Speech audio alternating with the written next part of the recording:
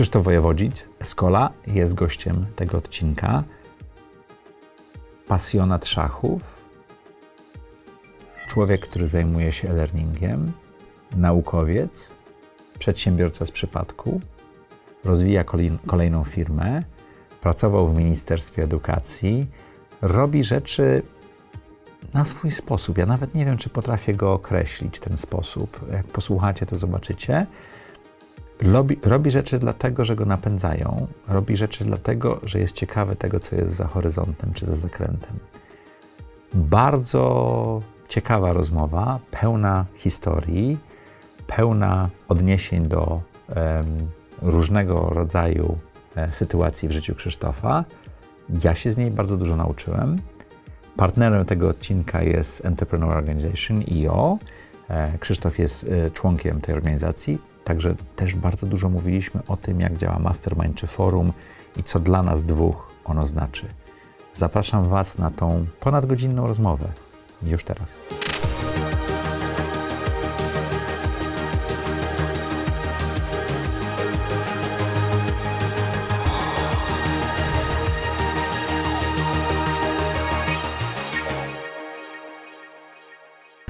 Witajcie w audycji Zaprojektuj swoje życie. Jak co tydzień, w czwartek o czwartej, zapraszamy dla Was interesujących gości, zadajemy im trudne pytania, szukamy tego, co ich napędza i na jakich zakrętach życiowych wyszli z tego albo wypadli krzaki. Jeżeli jesteś tutaj pierwszy raz, koniecznie dajcie nam lajka, zostawcie suba, a jeżeli nie byliście jeszcze na Zaprojektuj swój biznes, to tam jest konferencja, którą odpalamy w kwietniu. Zaprojektuj swój biznes.pl, łamane przez konferencja. Zapraszam Cię serdecznie. Będziemy mówili o budowaniu firm i o tym, jak znaleźć w nich wzrost. Partnerem dzisiejszego odcinka jest EO, czyli Entrepreneur Organization, czyli organizacja zrzeszająca na całym świecie przedsiębiorców, a nasz gość opowie o tym po, potem trochę więcej. Krzysztof Wojewodzic, Escola. Cześć Maćku. Ty też prowadzisz swój podcast. Tak, Escola Mobile. Mhm. I o czym on jest? Początkowo pierwszych 10 odcinków nagrałem sam. Sam opowiadałem o technologiach mobilnych, no ale po 10-20 odcinkach stwierdziłem, że to jest trochę nudne. Fajnie, żebym zaprosił różnych gości. Więc zapraszałem osoby, które zajmują się na przykład mobilnym game developmentem mhm. albo jakimś aspektem, jak sprawić, żeby więcej było pobrań Twojej aplikacji. Czyli bardzo techniczny podcast. Tak. Pierwsze powiedzmy do 40-50 odcinka był bardzo techniczny. No ale to również się wyczerpało i zacząłem zapraszać osoby z mojej branży, Tomka Karwatkę, ludzi z Microsoftu, żeby opowiadać, czym jest rynek IT. I to niesamowicie się e, przyjęło. Cały czas jesteśmy w top 10 tych podcastów technologicznych. No i ja to prowadzę na zasadzie, co ja bym chciał od, od tych ludzi się dowiedzieć. Bo ja cały czas chcę się doskonalić. Czyli ty wyciągasz wiedzę pod pretekstem nagrywania podcastu. Dokładnie, ja wyciągam to wiedzę. Zupełnie tak jak ja. Ja Ale... wyciągam wiedzę, a przy okazji ludzie tego słuchają. Okej. Okay. Okej. Okay. No dobra.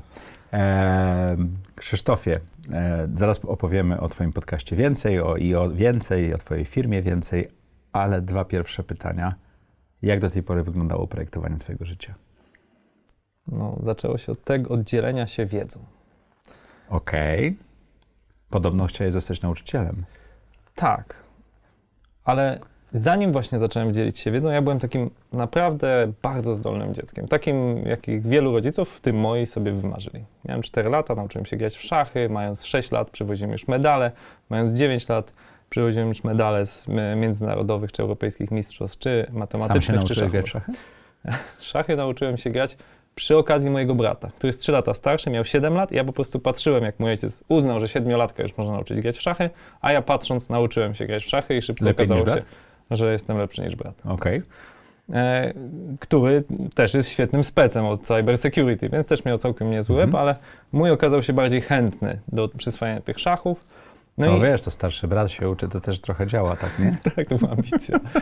E, I i po prostu, jak już nawygrywałem te wszystkie konkursy matematyczne, szachowe, to wiesz, przychodzi okres buntu. Przeciwko czemu możesz się zbuntować jako nastolatek? Mnie nie interesowały w ogóle, wiesz, jakieś imprezy czy coś tam, więc mhm. ja się zbuntowałem trochę przeciwko matematyce i szachom. I zacząłem... Czyli tym, w czym byłeś bardzo dobry. Tak. Okay. Pomyślałem, jak to się stało, że mi tak dobrze te szachy czy ta matematyka mhm. idą. Czyli zacząłem zgłębiać psychologię, sztukę uczenia się. Połykałem książki, dosłownie. Ile miałeś lat? 14. To był Okej. taki okres, Taki po- wiesz, nastolatka. Początek bycia Tak, nastolatkiem Dokładnie, i bunt, bunt. Bunt już koniec tego wygrywania tych... dorośli. Tak, koniec tego wygrywania tych zawodów e, matematycznych. No i e, straciłem wtedy stypendium, między innymi Krajowego Funduszu na Rzecz Dzieci, który wspieram od 20 lat, Mhm. e, także już jako, jako biznesmen, e, bo oni uz- uznali, że to moje zainteresowanie, już czemu ja się nie fascynuję matematyką, tak, a jakąś psychologią się zainteresowałem. No i słuchaj, mając chyba 16 lat, na moim wykładzie było 400 osób na Uniwersytecie Wrocławskim. Na uniwersytecie miałeś wykład w wieku Tak, 16 lat? tak, tak. Pamiętasz 16 tytuł albo wykładu? Wiesz co, opowiadałem na pewno o metodach uczenia się, prawdopodobnie o szybkim czytaniu, o tym, jak Mhm. skutecznie zapamiętać to co, to, co czytasz. Czyli uczyłeś studentów, jak się uczyć. Tak. I właśnie, wiesz, jak ktoś jest takim noworyszem, no nie tylko studentów, tam byli wszyscy, Mhm. można powiedzieć. To był wykład otwarty. E, Jak, jak jesteś noworyszem i się nagle tym zafascynowałem, tymi metodami uczenia się, to chciałem właśnie dzielić się wiedzą. Bardzo chciałem wszystkim o tym powiedzieć. Więc najpierw powiedziałem to najbliższemu gronu i miałem nie tylko ja robiłem te wykłady, ale też pięciu moich znajomych. Co potem, jak ci opowiem, wpłynęło mocno na budowanie mojego biznesu Mhm. chciałem bardzo podzielić się, opowiedzieć wszystkim, jak to się stało, że jestem, że ja tak szybko przyswajam wiedzę, jak inni mogą to robić. No i faktycznie można powiedzieć, że wiele lat mojej kariery takiej społecznej, bo ja założyłem tylko jak skończyłem 18 lat takie stowarzyszenie, ono się nazywa Stowarzyszenie Cel, chyba do dzisiaj e, istnieje, które po prostu dzieliło się tą wiedzą, w jaki sposób można się skutecznie uczyć. Potem robił różne projekty społeczne, różne warsztaty dla nie wiem, HR-owców, menedżerów, coachów, etc., etc. No i to, to było coś, co naprawdę odmieniło moje życie. I, i, I można powiedzieć, że sprawiło, że w jakiś sposób moje życie się już przeze mnie, tak, w sposób świadomy ukształtowało. To jak z e, wykładowcy, młodocianego, ambicji na nauczyciela, człowieka, który zakłada sto, stowarzyszenie, żeby się dzielić, stałeś się biznesmenem? Przypadek. już mówię. I poszło planowanie życia. E, byłem na stypendium w Wielkiej Brytanii. Tam Mhm. skończyłem psychologię, licencjat. Mhm. Pojechałem do Stanów, e, do Illinois, na, na to, żeby zrobić takie studia magisterskie. Dostałem stypendium. I dzwoni do mnie kolega, Paweł Kowalczyk, i mówi: Słuchaj, założyłem taką mm, stronę do uczenia się angielskiego online. 2006 rok albo 2007. To jeszcze było rewolucyjne, nie? Tak, angielskiego online. No i czy bym e, nie chciał mu pomóc w tym, bo on świetnym jest programistą, ma to zaplanowane, ale chciałby, żeby ktoś tam skoordynował tych anglistów, przygotował te nagrania, wymyślił cały system uczenia się, a wiedział, że ja się na edukacji znam. Razem byliśmy w Stowarzyszeniu CEL. Mhm. No i ja mówię, słuchaj Paweł, dobra, spróbujmy to nauczanie online. Byłeś cały czas w Chicago. No, zjeżdżam do Polski i Okej. robimy. Zjeżdżam do Polski i robimy. I no, było sporo tych e, chętnych do nauki. Do uczenia się czy do online, nauczania? Do, do, do uczenia się Mhm. online. No więc trzeba było wpłacić jakąś opłatę. No to 10 zł tam za miesiąc, żebyś mógł się uczyć. No i tak powstała dzisiaj największa, niedawno sprzedana, dopiero chyba dwa tygodnie to było ogłoszone, e, sprzedana największa szkoła językowa online w Polsce, która ma klientów takich, nie wiem, jak Tesco, Orange, plus pełno prywatnych, ponad milion. A czemu osób. 10 zł? No bo żeby nie męczyli nas, bo dzwonili, coś pisali mi jakieś problemy, no trzeba ich obsługiwać, żeby support można było, bo myśmy to całkowicie z pasji robili, nie dlatego, Okej. że... że A te 10 zł miało za wsparcie tak, zapłacić, po tak? prostu nie, to nie był żaden pomysł biznesowy. Do nas zadzwonił Michał Lach, założyciel Mhm. K2, do, do Pawła i mówi, że no chciałby zostać y, takim aniołem biznesu. My nie wiedzieliśmy, co, o, czym co on- chodzi, o czym on jakim mówi, tak? aniołem. Dopiero jak wytłumaczył na liczbach, co to znaczy ten anioł biznesu i włożył tam te małe kilkaset tysięcy, no to, to, to zrozumieliśmy. No i faktycznie ten biznes się niesamowicie rozwinął. Dwukrotnie sprzedany. Najpierw do Benefit System w 2012 bodajże, czy A czemu dwukrotnie? No bo odkupiony, powrotem? tak, potem odkupiony i teraz znowu A to jest, to jest ciekawe, to, Mhm. to, to o tym opowiemy więcej, bo nie ma dużo takich przykładów, ale zdarza się, że założyciele widzą więcej wartości Mhm. niż firma, która kupiła i są w stanie odkupić taniej i znowuż tą W wartość tym zbudować. wypadku drożej o 50%, warto podkreślić, została odkupiona. Okej. E, Znam ale takie historie, że 50% taniej kupowali, bo ktoś, kto Tak. kupił, nie poradził sobie z biznesem, ale wrócimy do tego. tak, ale ja chcę powiedzieć, że ja oficjalnie nie byłem udziałowcem nigdy tej spółki, chociaż uważam, że ona mnie biznesowo wypyna. Miałem tam obiecane jakieś udziały na kartce papieru Nie dostałeś to- ich nigdy? i mm, już mówię, e, dos, umówiliśmy się, że dostanę udziały w spółce córce, ponieważ z Pawłem Kowalczykiem umówiliśmy się, że ja zrobię taki spin-off dla dzieci. On się nazywał Mhm. English. Ja do dzisiaj, jak sprawdzisz, jestem autorem pierwszego w Polsce online'owego podręcznika. Wówczas w 2011 roku był wymóg, żeby podręczniki cyfrowe mogły już być, ale muszą być na płytce CD. A nasz podręcznik był całkowicie stroną webową. Więc nagraliśmy taką płytkę, która Jedną. pani w ministerstwie Jedną. jest przechowywana do dzisiaj w archiwach ministerstwa, nie tak daleko stąd, na Szucha. Jak wkładasz ją do czytnika CD, to ona odpala stronę internetową fanenglish.pl, łamane na podręcznik. I nic więcej ta płyta nie robi. Czyli No, masz ale- ma program egzekucyjny, który odpala browser, który wchodzi na tą stronę i Dokładnie. wygląda jakby było, tak? Dla pani jest na płytce podręcznik. Okej. To jak to było z tymi udziałami? E, no i właśnie, i tam dostałem 100% udziałów i proste polecenie, słuchaj, znajdź inwestora, bo mamy tam 750 tysięcy e, e, finansowania, zresztą ze słynnego programu 8.1, na Mhm. którym psy się wieszają, to i Lang Media, i Masbuka, Fan Media z tego skorzystały i na pewno w podatkach wróciliśmy wielokrotność tego wkładu państwowego. I, e, no i moim inwestorem pierwszym został Bartek Postek, który miał dosyć e, przedsiębiorczego ojca, który obiecał mu mieszkanie. Powiedziałem, Bartek, po co ci to mieszkanie? Kup sobie połowę mojej firmy. No i, i tak, i tak w, duecie działaliśmy. Co Mhm. więcej, wymyśliliśmy, że nie tylko będziemy robić dzieci, ale za zgodą Pawła, E, W sensie robić dzieci, Tak, w sensie... nie tylko będziemy robić programy dla dzieci, bo wtedy odkryłem, że lejek konwersji e, w projektach dla A dzieci już jest wiedziałeś, co to jest lejek konwersji? Nie wiedziałem tego, Okej. ale jakby wiedziałem, zrozumiałem mechanizm, jest zupełnie inny dla dzieci, bo dziecko nie ma karty kredytowej i potrzebuje zgody rodzica. I wielokrotnie na saporcie słyszałem takie rozmowy, już nic więcej nie kupię, ty tego nie używasz. Bo wiesz, musi być Dziecko rodzic, chciało, a tak, rodzic nie płacił. a rodzic nie, albo odwrotnie, rodzic zapłacił, a dziecko się nie, tym nie bawiło. Mhm. I ten lejek konwersji właśnie zmieniał się o grube kilkadziesiąt procent, co sprawiało, że to się niezbyt opłacało. Ale Czyli zau- biznes się nie spinał. Zupełnie. Ale to, co zauważyliśmy, mi, mimo że był globalny i, i, i, robiliśmy to zgodnie ze sztuką, to po prostu się nie spinał poprzez ten jeden więcej kroczek konwersji, czyli Mhm. tatuś albo mamusia muszą A to była dobra lekcja. I wymyśl... Ale to, co zauważyliśmy, to że chętnie robią te e, zajęcia dla dzieci dorośli. Wiesz, my tam mieliśmy jakieś gry, wyliczanki, śpiewanki, gry, bardzo dużo gier. Dorośli sami się z tego uczyli? Tak. Ale skąd wiedzieliście, że to są dorośli? Domyślaliśmy się tego. A w jaki sposób? Poza tym po rozmowach w saporcie. Na przykład, Okej. no, moje dziecko tego nie chce robić, ale dla mnie to jest całkiem fajne. Okej. Więc co zrobiliśmy? Nazwaliśmy ten program już nie Fun English, co angielski 1, 2, 3. I to ROI na tym projekcie to było 1000% w pierwszy miesiąc. Był- Samej zmiany nazwy. Tak. Okej. To było po prostu eksplozja. Eksplozja wyników.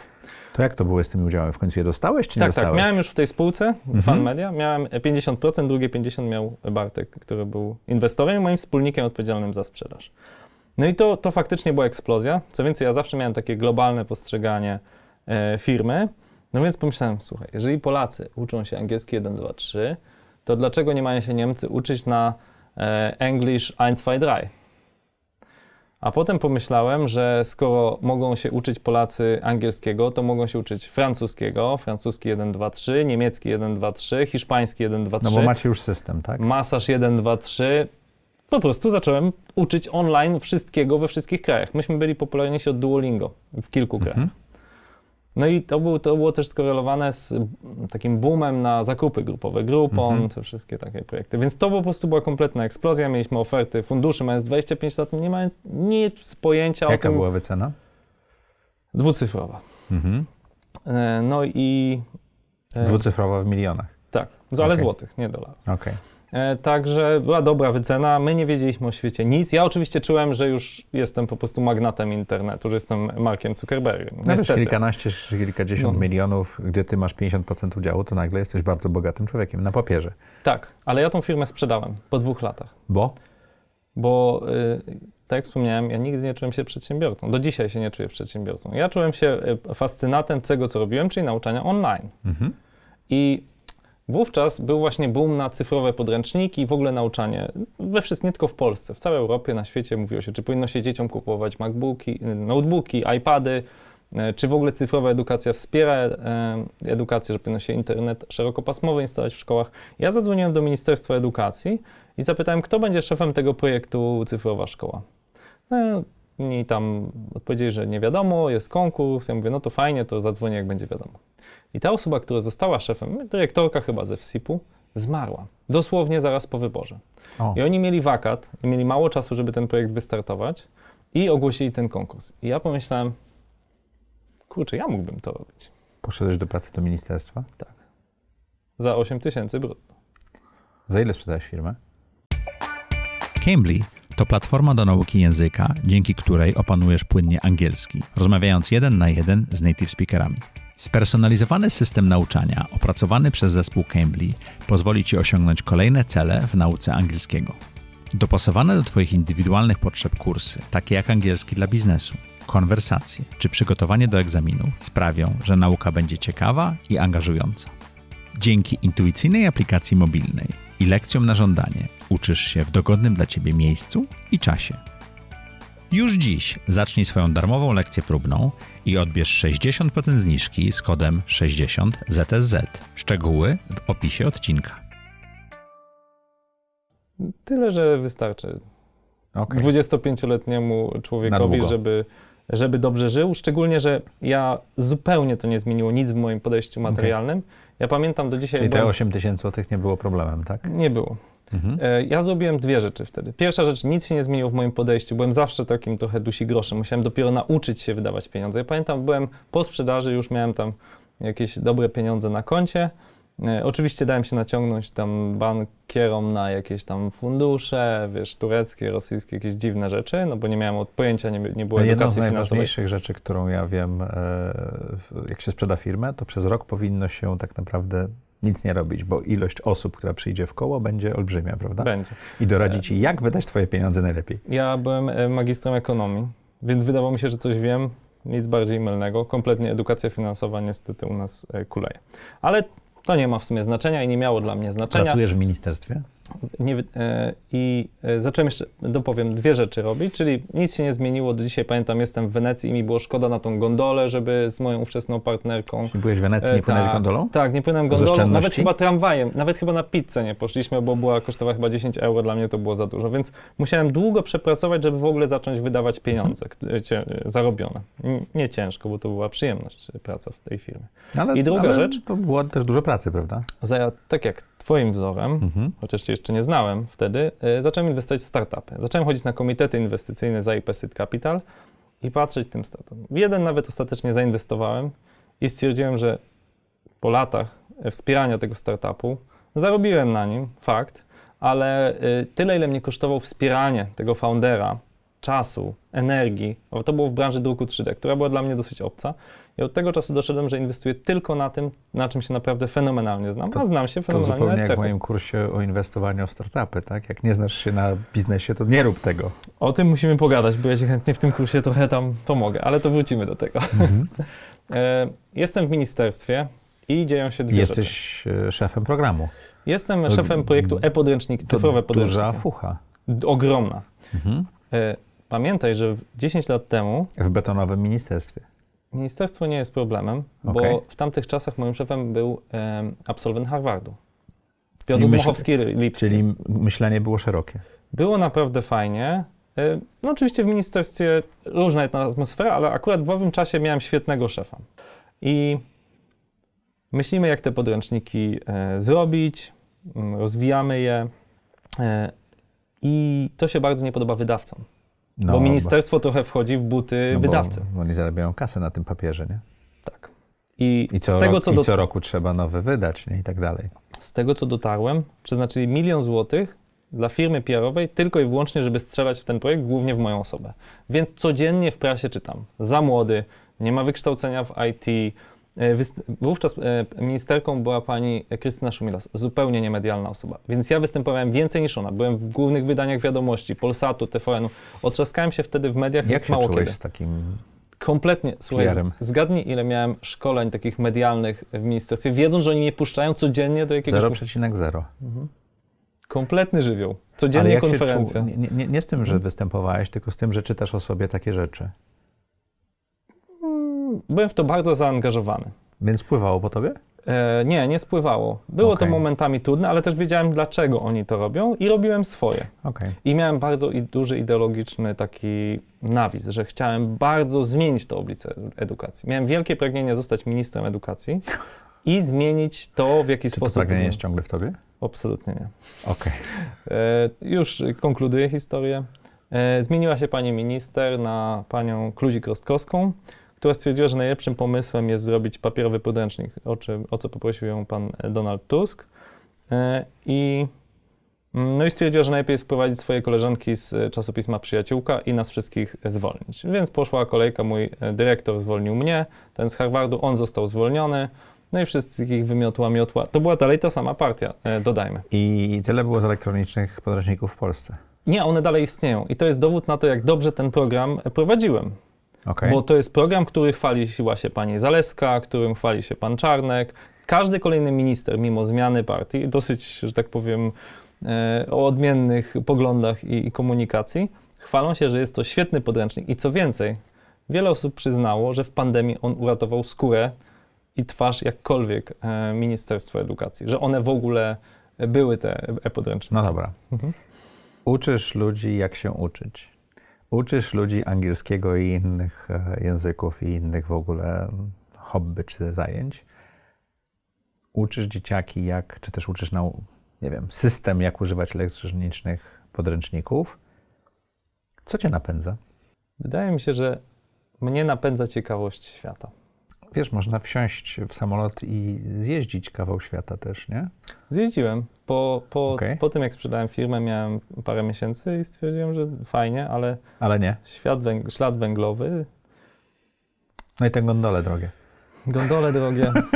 Nie, no jakby wydaje mi się, że nazwiedzałem się świata naprawdę bardzo dużo okay. w swoim życiu, bo zawsze bardzo dużo zwiedzałem i w tej chwili równie wielką sprawia mi przyjemność wyskoczyć na Ślęże pod Wrocławiem tam spędzić noc pod namiotem, co jechać do Gwatemali i przedzierać się przez dżunglę. I nie, nie nastukać tego CO2 w samolocie. Nie trzeba nastukiwać CO2. E, jak się poczułeś, jak zostajesz zwolniony z ministerstwa? Twoja osobowość, twoje ego, twoje, twoja samoocena. Chyba muszę przyznać, że to był w moim życiu najbliższy moment depresji, jaki odczuwałem. Szczerze mówię. Pamiętam okay. do dzisiaj, jak biegłem po wale międzyszyńskim, bo zacząłem wtedy biegać. Już po zwolnieniu? Tak. I bywało tak, że się zatrzymywałem i płakałem po prostu, że tak mi było bardzo przykro, bo ja naprawdę wierzyłem, że ja chcę zmienić tą edukację. I nie wiedziałem też, co robić, bo tu miałem spotkania jako przedstawiciel ministerstwa z wiceprezesami Apple'a, Microsoftu, Intela, którzy I próbowali mnie tak zachęcić, żebym y, wprowadzał te elektroniczne podręczniki. Oczywiście wtedy Intel miał praktycznie monopol na procesory, więc dla nich jakiekolwiek by komputery były, to by się udało, byle nie iPady, byle nie iPady. Mhm. A tu nagle okazało się, że ja nie dostaję e, miliona propozycji nagle z propozycją Telefon pracy. zamilkł. Telefon tak już nie dzwoni. E, startup już sprzedany. Co ja właściwie mam robić? I naprawdę... Ile miałeś lat? 26, 7. To, to, to młodo, żeby z tak dużego stołka spaść. To tyłek musiał zaboleć. I wiesz, jeszcze nie mam motywacji finansowej specjalnie, pamiętaj, bo No bo masz kasę, masz kasę ze sprzedaży biznesu, tak? Czyli tak. Nie, nie, masz tego, że do pierwszego nie starczy jeszcze. Tak. Więc jakby rob, zaczynam robić to, co robi większość osób w kryzysie wieku średniego, zaczynam się bawić w triatlon.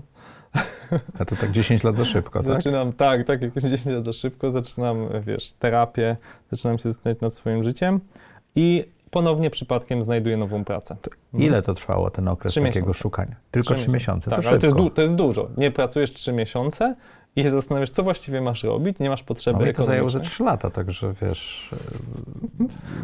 Okej, okay, długo. Dla mnie Trzymajmy się wersji, że... Może, może to było więcej. Trzy miesiące na pewno szukałem, a potem... Do... No ale to nieważne. Chciałem coś spokojnego. To jak wyglądał ten przypadek? E, mój kolega czytał taki blog e, Krzysztofa Rybińskiego, mhm. profesora i wówczas rektora Akademii Biznesu Wistula. Mhm. I mówi, słuchaj, to jest robota dla ciebie. To było najlepiej sformułowane ogłoszenie o pracy. Jak ktoś nas słucha, to, to teraz się zamieńcie w słuch na chwilę. Było tam napisane 10 KPI-ów, które masz spełnić. Nic o wykształceniu, nic o doświadczeniu, nic o pochodzeniu, nic mnie nie obchodzi. Tu jest 10 masz KPI-ów. Masz to dostarczyć. Masz to dostarczyć, masz dwa lata. Koniec. 10 punktów. W Wistuli? Mhm. A co to była za pozycja? No, tam dyrektor e-learningu. Mhm. Wziąłeś?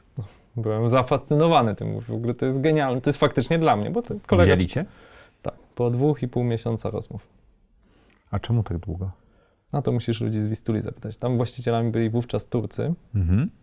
i oni mają bardzo ciekawą e, metody pracy i zupełnie inną kulturę. To było fascynujące doświadczenie kulturowe. Ja już tu opowiadałem trochę o Samsungu, jak to się różni w koreańskiej kulturze, ale nie znam tureckiej kultury. Opowie, bo super przykład, ciekawy jestem. Na przykład dostajesz na, pytaniu, na pytanie na rozmowie rekrutacyjnej, czy wiesz, jaka była rola Maryi Biblii i w kulturze islamskiej. Normalnie jako pytanie. Umiałem odpowiedzieć, bo akurat interesuję się trochę religią. Mhm. E, Byli zdziwieni, że wiedziałeś? Nie wiem, Okej. może trochę, ale... Ale z perspektywy islamskiej, Tak, nie tak, tak. chrześcijańskiej. E, Więc to, to tego typu pytania, wiesz, na rozmowie kwalifikacyjny, no kosmos zupełny, nie? I to, że to trwało i trwało, i to głównie były rozmowy. Przychodzi do ciebie prezes i mówi, wiesz ja nie czytałem twojego CV, ale tam odpowiadaj mi na pytania właśnie o Marii, o religii, czy ważna jest dla ciebie rodzina i tak dalej. A jak się z nimi pracowało? Powiedziałeś, że to była inna kultura. Tak. Ja uważam, że to było bardzo ciekawe doświadczenie, w sensie takim, że długo się negocjowało niektóre rzeczy, czasami trzeba było walczyć, Żeby coś prze, prze, zmienić, tak? ale jak już obiecali, to to było załatwione. I to ja do dzisiaj bardzo to szanuję i zresztą byłem wczoraj na otwarciu A. mm, roku szkolnego, bo grupa uczelni Wistula ma chyba z sześć uczelni i na jednej z nich od tego roku, od wczoraj jestem tam pełnomocnikiem rektora do spraw współpracy IT z biznesem. I ja do dzisiaj mam ogromny szacunek z tych lekcji, które wyciągnąłem i lubię z nimi współpracować cały czas. Mhm. A czego cię nauczyła ta praca? No właśnie walczyć. Że nawet w teoretycznie jednak skostniałej organizacji, jaką jest uczelnia, nawet prywatna, trzeba walczyć. Mhm. I czasami po prostu stawiać głowę pod topu i powiedzieć, słuchajcie, jak nie zrobicie tego, co ja chcę, to mnie zwalniacie i szukajcie nowego dyrektora. No i wtedy jest też inne podejście, tak? No wtedy znaczy, że naprawdę gram all in i Mhm. naprawdę mi zależy. Jeden pracodawca powie, wariat, no chce się zwolnić o jakąś głupotę, a dla mnie to było ważne. No i Mhm.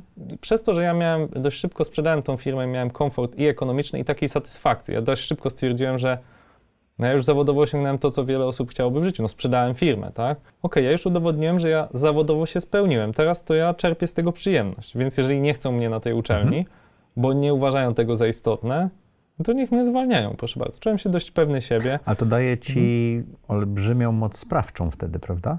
No tak, słuchaj, ta, te studia online, które my wytworzyliśmy na grupie uczelni Wistula, to jest teraz tak, że tu jest numer jeden, potem jest długo, długo nic. Tam jest ponad tysiąc studentów uczących się online. Mhm. W tej chwili na niektórych kierunkach, typu nie wiem, zarządzanie, to jest więcej osób uczących się online Niż offline. niż offline. A pandemia to, to w ogóle był Mhm. kosmos, nie? Także to, te studia to jest ogromny sukces, bo na większości uczelni e-learning jest postrzegany jako koszt. A ja im Że powiedziałem... trzeba mieć i tak dalej, tak? No, no bo wiesz, koszt platformy, koszt tej obsługi tego, e, wykładowcy podchodzą jak do jeża, no bo to jest dla nich tylko niepotrzebna dodatkowa praca. A ja powiedziałem, słuchajcie, to dla was będzie czysty zysk, ja wam pokażę PNL-a. Tu macie w Excelu przychody, bo to są studenci online, każdy z nich dostaje 5 tysięcy miesięcznie, macie 1000 studentów, każdy płaci 5 tysięcy, to jest 5 milionów rocznie dla was, a po Mhm. stronie kosztów macie mój 10-osobowy dział. Zróbcie matematykę, macie prostą odpowiedź. Plus uwzględnijcie nas w kosztach uczelni, tam pokój, ogrzewanie, jakieś komputery i zobaczycie, że ten PNL działa bardzo na naszą korzyść. Ja byłem tam nieusuwalny. W sensie nie... Czy w pewnym momencie stałeś się centrum zysków? Nawet Oczywiście, nie bardzo przychodów, szybko. tylko zysków. Bardzo nie? szybko, bardzo szybko. I tak, Tak. I tak jest do dzisiaj. W sensie to jest doskonale zarabiająca jednostka uczelni. I mimo przeróżnych ostrzałów, które zdarzają się, jak to w każdej organizacji typu uczelnia, no tam, tam się naprawdę trzymają dobrze. Więc jestem z tego bardzo, bardzo dumny, bo i projekt e-podręczniki trwa do dzisiaj i ten projekt na Akademii się Wistula trwa twoja do dzisiaj. e, przygoda z Wistulą zakończyła? Od telefonu. Kolega zadzwonił, kolega napisał. Dokładnie tak było. Zadzwonił do mnie Rafał Zarowski. Mhm. Teraz to jest dosyć e, znana osoba, bo on niedawno tam wygrał chyba ze 100 milionów na spekulacji na giełdzie. Mieszka Mhm. na Złotej tam na tym. Mhm. I on do mnie zadzwonił i mówi, Krzysiek, słuchaj, chcę sprzedać Eskolę, bo ja bym się chciał zająć tą spekulacją, a tu mam ten software house, Mm, to mi tylko zaprząta głowę. Mhm. Dobra, Rafał, spotkajmy się. Dwa tygodnie później. Ale on dzwonił do ciebie, żeby tobie sprzedać? Tak, tak, do mnie zadzwonił. A skąd się znaleźliście? A z konferencji edukacyjnych. On, on się udzielał tam w dwóch konferen- na dwóch, trzech konferencjach się spotkaliśmy.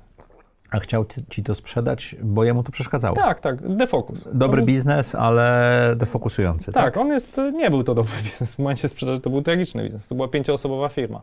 Okej. No, no więc zadzwonił. Ja powiedziałem, dobra, biorę.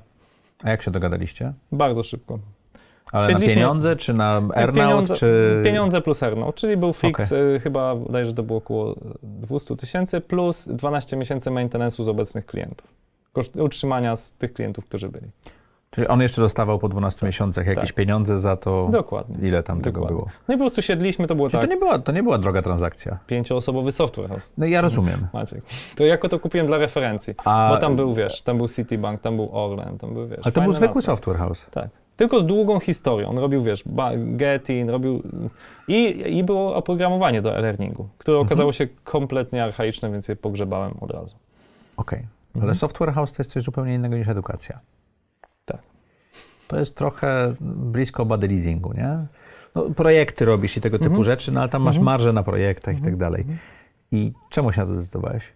Wiesz co, no, wydawało mi się, że chcę spróbować jeszcze raz jakiejś nowej przygody biznesowej. A, Kończyłem już doktorat e, Okej. wtedy. No i było tak, kończę doktorat, już ten triatlon, e, pełny dystans Ironmana zrobiony. E, Pracowałem chyba wtedy w BCG, miałem tam, wiesz, takie życie. E-learning zrobiony y, na Wistuli, tak? Tak, i learning zrobiony. Zresztą Zarabia. Ja się umówiłem od pierwszego dnia na Wistuli, że przychodzę 4 dni w tygodniu. A potem się mówiłem, że przychodzę 3 dni w tygodniu i te 3 dni głównie siedziałem na Tinderze, bo taki był wtedy czas w moim życiu. No i a wszystko super chodziło. No to on dzwoni, mówi, że ma taki pomysł. No i od początku I on nie, nie chodził super. E, No tak. I, I po, to było pewno trochę kuszące? Wiesz co, on, Rafał Zorski ma taką magię mm, opowiadania o rzeczach, że to był pięcioosoby software house, ale ja myślałem o tym, że ja kupuję NetGuru. Naprawdę, jakbyś zaprosił tu Rafała Zorskiego, to... No dobrze. Więc ja miałem wrażenie, że kupuję NetGuru. Poszedłem na imprezę, to też jest świetna historia. Poszedłem na imprezę, mówię... E, Już pyta- jak kupiłeś? E, Już byliśmy blisko kupienia i e, kolega pyta, no Koton, co tam słychać, bo tak nam nie mówił. Kolega, którego spotkałem na Kubie przypadkiem, w czasie e, tam jakiejś podróży. Koton, co tam słychać? Ja mówię, a Software House kupuję. A on, tak, mogę kupić, bo ja sprzedałem pole kapusty na Wilanowie, E, mam trochę gotówki, zostanę twoim wspólnikiem. Mówię, a co ty umiesz? Wiesz coś o IT? Nie, ale umiem sprzedawać. On pracował w banku jako Mhm. tam relationship manager. Super. Dzwoni do mnie następnego dnia. Słuchaj, bo ja mam takiego szwagra, on jest w IT, on będzie naszym CTO. Więc dokładnie tak wyglądał zakup Escoli. Tak, Kompletny odebrałeś? spontan, kompletny spontan. Ale nie znaliście się. Nie, no znałem na Kubie. Znaczy ze szwagrem CTO się nie znałem kompletnie. Raz Ale usiedliście porozmawiać o tym, jak chcecie biznes prowadzić w wartościach. Czy, trans- czy ta transakcja była na tyle mała, że to nie miało To znaczenia? była mała transakcja. Okej. I ten e, Przemek, który wówczas był e, główny dowodzący, ja też powiedziałem, że ja będę part-time, bo jeszcze miałem wtedy fuchę w BCG, świetnie zarabiałem, to było też bardzo e, Też rozwijające robiłeś zdarzenie. e-learning BCG. No, takie digital transition Mhm. robiłem, powiedzmy. I mm, stwierdziłem, że to będzie taki świetny part-time job właśnie, jak BCG się skończy, bo wiedziałem, że to będzie krótki projekt, tam 10-miesięczny, to akurat wrócę wtedy i się tym zajmę, a Przemek w tym czasie to jakoś spróbuje rozkręcić, zobaczymy, co będzie. On, się, on kupił ze mną Escole, która zajmowała się jednak głównie aplikacjami mobilnymi i się dowiedział poza, po transakcji, że istnieją dwa systemy operacyjne, Android i iOS. On nie wiedział tego. Nie, Okej. A jaki telefon miał? Androida. Okej. Więc słuchaj, to było, no mówię ci, jak teraz to opowiadam, to się wydaje śmieszne. I pierwsze dwa lata Escoli były faktycznie e, takie dosyć latami stagnacji. I Ale trudne. dokładaliście do biznesu? Oczywiście, że tak. Duże pieniądze? Nie, no jak, w sensie z mojej perspektywy wówczas to nie były jakieś duże pieniądze, no ale, jakby... on Nie, nie, generowała tyle, żeby cashflow utrzymał zespół, biuro, wszystko inne. Wiesz, jak masz pięcioosobowy software house, to największym twoim problemem jest e, zrekrutowanie ciekawych osób. Bo Mhm. przychodzi drugi iOS-owiec i mówi, no ale ten pierwszy jest taki średni, a ciebie nie stać na naprawdę dobrego. Teraz już bym to inaczej ułożył, no ale pierwsze dwa lata to tak trochę mieliliśmy w miejscu, tak? Mieliśmy super klientów. Czyli, żeby dostać dobrych klientów, prze- potrzebowaliście mieć lepszy zespół. Żeby mieć lepszy zespół, potrzebowaliście mieć większe obroty. I to trochę jajko i Tak. kura, tak? Tak, dokładnie. I to się trochę rozwiązało na dwa sposoby. Po pierwsze, Przemkowi urodziło się dziecko i on powiedział Krzychu, pierdolę to. To jest za dużo, ja tu haruję nadgodziny cały czas. CTO. Ty sobie siedzisz, e, nie, ten... e, Ten od pola kapusty. te- Okej. I on mówi, ja tu haruję, a ty w sumie sobie tam przy, po godzinach przychodzisz. Trochę to jest dla mnie słaby interes. Odkup moje udziały. No i odkupiłem, odkupiłem też szwagra CTO i mówię, dobra, Sam zostałeś. mhm, zostałem sam.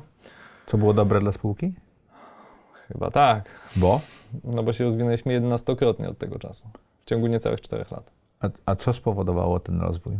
Wiesz co, ja byłem Poza najlepiej, twoim geniuszem oczywiście. najlepiej się człowiek rozwija, jak jest pod ścianą i ktoś e, celuje ci pistoletem I to było w głowę. tak? I tym pistoletem w głowę był nasz PNL, który był fatalny. Czyli musiałeś zapłacić pieniądze za dodatkowe Mhm. udziały Mhm. i no ten biznes był jaki był. Tak. No i wtedy, słuchaj, ja nie jestem, ja jestem dropoutem informatycznym. Po roku stwierdziłem, że to nie ma sensu. Mam doktorat zarządzania strategicznego w IT, ale wiesz, jak doktorat Ale pomaga w sprzedawcą też zarządzaniu. nie jesteś. Nie jest, nie byłem. Nie Wydaje byłeś. mi się, że już jestem. Okej. No i stwierdziłem, dobra, co ja właściwie umiem? To co umiesz? Opowiadać historię. No to słyszymy. I w 2017 roku spotykam Arka Regieca, który Mhm. na konferencji Impact w Krakowie mówi: Słuchaj, jest coś takiego jak crowdfunding udziałowy, można zyskać do 100 tysięcy euro, będziesz miał wielu wspólników, będzie fajnie. Ja usłyszałem z tej wypowiedzi tylko 100 tysięcy euro. Które potrzebowałeś na rozwój spółki. Dokładnie. I Mhm. wychodzę do rynku i mówię: Słuchajcie, będzie fajnie. Teraz jest do dupy, ale będzie fajnie, firmę wyceniam tam na 7 milionów. I pierwszemu, komu to mówię, jest Witold Orłowski, któremu już ostatecznie rzucam kwitami na uczelni. On jest wtedy rektorem. Mówię, e, panie profesorze, panie rektorze, ja odchodzę już definitywnie z uczelni, nawet te 2-3 dni nie będę przychodził. On mówi, a, a co to za spółka? Ja mówię, no Escola, Software House, trochę EdTechu. E, I robimy teraz kampanię crowdfundingową. Mówi, a ile potrzebujecie? No 400 tysięcy. Dobrze, to daję 100 tysięcy, dzwonię do trzech kolegów, mamy 400 tysięcy, jaki problem? Ja mu powiedziałem, żeby nie dzwonił do tych kolegów, bo ja chcę mieć rozproszony akcjonariat, ale jest naszym pierwszym inwestorem, włożył 100 tysięcy Jedną gotówki. czwartą, jedną, bo wtedy to Tak. ograniczenie na Tak. crowdfunding było dużo większe. Teraz to jest Tak. milion euro, tak? Tak. A niedługo będzie 5 milionów euro. Dokładnie. Okej, czyli mi- pierwszy inwestor, któremu opowiedziałeś historię, Mhm. od razu zainwestował, ale też cię znał. Tak, on przede wszystkim mnie znał, I cenił wiedział, mnie że jako potrafisz. pracownika i wiedział, że będę gryzł glebę, żeby Mhm. to się udało. No i faktycznie e, wrzucił 100 tysięcy euro, plus wrzucił rzecz dużo cenniejszą. Jak robisz kampanię crowdfundingu, mówisz, hej, jestem Krzysztof, mam 30 lat i zrobiłem jeden exit, o którym nikt w sumie nie pamięta. To jest trochę inaczej niż jak opowiadasz, cześć, jestem Krzysztof, mam firmę, której szefem rady nadzorczej jest profesor Witold Orłowski. Okej. Błyskawicznie zdobyliśmy te, cztery- te pozostałe 300 tysięcy. No i ja zacząłem opowiadać historię, czyli opowiadać, że ja buduję firmę tak in public, w sensie jadę na konferencje, tutaj coś innego robię i faktycznie, Z tego się wzięli klienci? tutaj faktycznie z tego przyszli pierwsi klienci, plus od naszych akcjonariuszy, Mhm. którzy powiedzieli, dobra, uwierzyłem w jakąś firmkę, zainwestowałem tam, nieważne, 1000 zł, 5000 zł i teraz masz zlecenie informatyczne, komu ją dasz. Na firmie, którą zainwestowałem, tak? I naprawdę ze 30% naszych pierwszych Czyli zleceń... wbrew pozorom crowdfunding udziałowy, oprócz finansów, które pewno mógłbyś sam pokryć, jakbyś się uparł, e, dał ci e, dobry marketing do rynku, tego rynku marketing B2B. i klientów, faktycznych klientów. No i Nasz największy klient w tej chwili to jest ktoś przyniesiony przez naszego akcjonariusza. Okej. Klient, który zostawia, nie wiem, około 2 milionów złotych. No i to tak kula się rozwinęła. Czyli Kolej- warto było zrobić kolejną rundę zrobiliśmy w 2019, Też e, crowdfundingowo? też w crowdfundingu, też na Mhm. Bizfundzie. Mhm. I jeszcze jedną, już taką przedgiełdową, w 2021, już taką dużo większą na, na wyższej wycenie. Mhm. I za każdym razem dostawaliśmy e, nie tylko pieniądze, ale i świetny marketing. I Escola faktycznie ma, uważam, to jest jej taka cecha wyróżniająca do naszej skali, tak? Do naszej skali, bo my jesteśmy stuosobową firmą w tym momencie. E, uważam, że mamy naprawdę świetny marketing, ale też z przyznawaniem się do jakichś rzeczy, które nam się nie udały. Tak? Nie wiem, typu niektóre spółki, córki, które, w które zainwestowaliśmy, nam się nie udało. Ja o tym transparentnie też, e, też mówię. Powiedziałeś magiczne słowo, Rada Nadzorcza, które zawsze mnie interesuje. Bardzo wiele spółek w ogóle o tym nie myśli, a ty dość szybko e, w Escoli postanowiłeś mieć Radę Nadzorczą. Z czego to wynikało? Z twoich doświadczeń, czy z tego, że znalazł się taki inwestor, czy z czego? Żeby wejść na crowdfunding, trzeba mieć e, Spółkę radę, akcyjną. spółkę akcyjną, czyli radę nadzorczą. Więc po raz kolejny przypadek, Okej. ale, Ale nie zrobiłeś Rady, bo okej, można zrobić Radę Nadzorczą, która jest no, no wydmuszką, no ładnie no, wygląda, ale nic wiesz, nie mając robi. profesora Orłowskiego, ja nie mogłem tam wsadzić swojego kuzyna, cioci i babci, nie? Trochę to by było bez sensu. To jak pracujesz z Radą Nadzorczą? Bardzo dużo zawdzięczam mojej Radzie Nadzorczej. Naprawdę bardzo dużo. Opowiedz. Jak zaczęła się pandemia, tak, nagle zamykają nas. Ja w tym momencie mam zmiany życiowe prywatne, bo mam żonę w ósmym miesiącu i się przeprowadzam po ośmiu latach mieszkania w Warszawie do Wrocławia, więc dzieje mi się tyle na głowie. W czasie pandemii. W czasie tego, gdzie naprawdę jest lockdown, ten marcowy, e, a w tym momencie ja nie wiem, czy ja mam spółkę zamykać, zmniejszać, zwiększać, inwestować, to ja mam co dwa tygodnie Radę Nadzorczą i mi dostarcza profesor Orłowski najnowsze dane z rynku ekonomicznego, my wiemy, jak mamy postępować, my rozmawiamy na ten Czyli temat. masz te długie światła włączone i widzisz, co się będzie działo na Absolutnie. rynku za miesiąc, za dwa, za trzy, tak? Mam dyskusję z Sebastianem Kwaśnym, który dwie spółki wprowadził na giełdę. I, I oni mi radzą, co mam w tym momencie robić. Czy kupować spółki, skoro jest tanio, jest okazja, Mhm. czy zwijać się w e, skorupkę ślimaka i Przetrwać. czekać przetrwanie. Wybraliśmy tą pierwszą opcję i to w dużej mierze zawdzięczam poradom Rady Nadzorczej. Czyli wzrost, y, kupując mniejsze spółki, Mhm. mniejsze software houses, zrobiliście sobie wzrost w tym Dokładnie. czasie. Ogromny. No, Za niewielką, znaczy relatywnie mniejszą inwestycją, tak? Dokładnie. Okej. No, Także dużo zawdzięczam Radzie. W czasie pandemii, wiesz, kiedy nagle pierwszy raz stykasz się z taką sytuacją, potrzebujesz e, wsparcia osób mądrzejszych, bardziej doświadczonych od ciebie. Ile osób jest w Radzie? Pięć.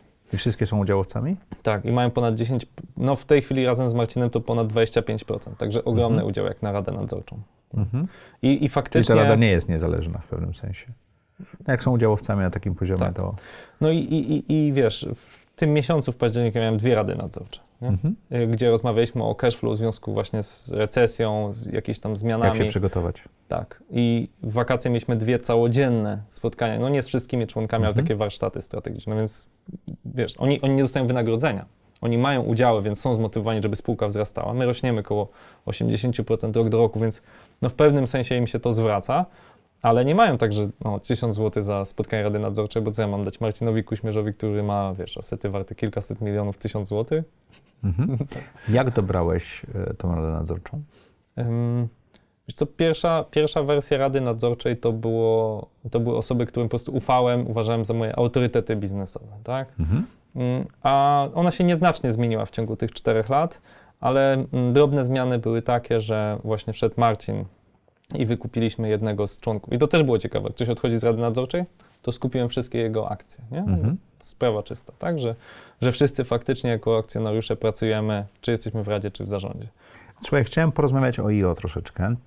Entrepreneur Organization. Ja jestem w IPO, ty jesteś w IO. Dwa lata już. Mhm. Co ci to dało, że przyłączyłeś się do takiej organizacji? Um, co było zaskoczeniem? I, I na czym polegają takie rzeczy? Ja o IPO dość dużo rozmawiałem, a IO jest pewną e, nową organizacją na polskim rynku, ale nie nową na świecie. Ja może powiem, co mi, co mi to dało, co mi Mhm. dało IO, ale też co realnie zmieniło w moim życiu. Tak poproszę. Poznałem ludzi, którzy powiedzieli, słuchaj, jest taka, taka sposoba, żeby zrobić taki exit operacyjny, ale bez exitu finansowego. Czyli jesteś współwłaścicielem, Mhm. ktoś inny zarządza spółką, Mhm. a ty czerpiesz z tego e, korzyści No finansowe. Tak, no NetGuru tak zrobił Wiktor Mhm. Schmidt z Kubą, tak? I, i, ale poznałem to z bliska, tak? Osób właśnie w IO, które tak zrobiły. Więc to był taki realny impact na mój biznes. I na ciebie.